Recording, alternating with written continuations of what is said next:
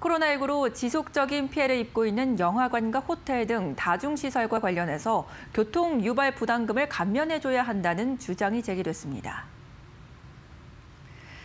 전국경제연합회는 오늘 국무조정실과 각 지자체에 호텔과 영화관, 테마파크 등에 대한 교통 유발 부담금을 입장세액 수가 코로나19 이전으로 회복될 때까지 소재지에 관계없이 감면해 줄 것을 건의했다고 밝혔습니다. 실제 서울 시내 7개 호텔의 경우 올해 상반기 이용객은 코로나19 이전인 2019년 상반기에 비해선 39.6% 감소했습니다. 영화관의 경우 2021년 1월에서 9월 중 입장객은 4,032만 명으로 지난해 동기간 대비 감소했으며 2019년 대비해서는 무려 76.4% 감소하면서 위기가 심화되고 있습니다.